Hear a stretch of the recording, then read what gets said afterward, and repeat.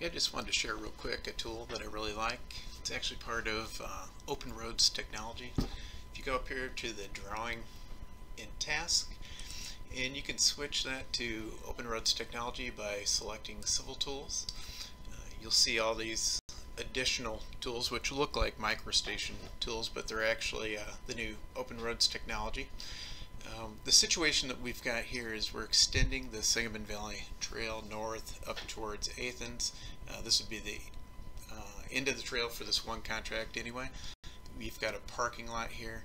So in any case, you can see that we're coming in at a major skew. I want to try to cross that township road as close to a 90 as possible. Of course, in the past that would have taken a lot of trial and error.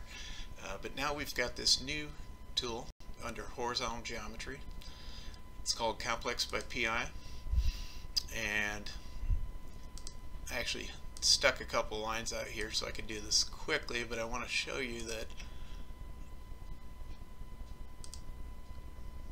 even after I place this new alignment, here's the part that I, I really like about this. We couldn't do this in the past with GEOPAK or, or MicroStation is notice when I select on the alignment I now have the ability to change some of the constraints.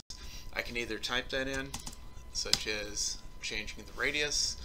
I can actually hover over the PI, pick that up, kind of rubber band that around just to get something as close as possible to a 90 and something that's going to make for a very good design.